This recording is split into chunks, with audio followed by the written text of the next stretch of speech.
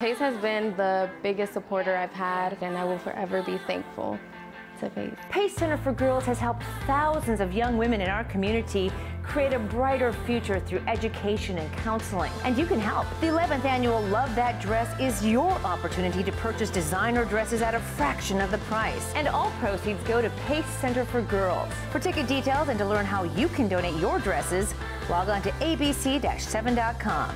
Give more with ABC7.